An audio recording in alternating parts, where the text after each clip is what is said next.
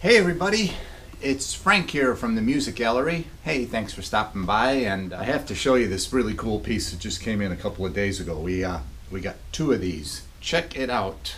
This is called the Fender Custom Shop 67 Smuggler's Telecaster. I bet when I said smugglers and you saw this, you knew what I was referring to. Isn't this a hoot? Uh, very cool guitar. Super light, of course, because they've uh, carved away a lot of the uh, light ash body. Very, very, very resonant.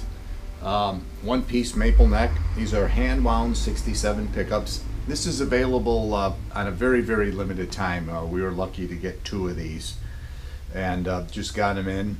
And I had to tell you about it. It just, um, it's just so cool. It does come with a with the regular pick guard. So if you don't want to show off what you're smuggling, uh, then you can put the regular pick guard on. But heck, I think one of the cool things about this thing is is showing that off. Of course, I don't know what you'd put in there. I know what Paul McCartney would have put in there if. Uh, so he didn't have to spend any nights in jail many, many years ago, but uh, that's a whole different story.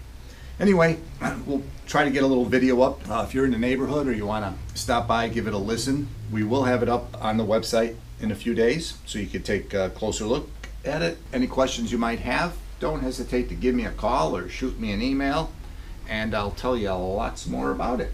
Okay? Hey, thanks so much for your time. Appreciate you checking in with me, and I'll be looking for you down the road with some more cool things. Thanks a lot.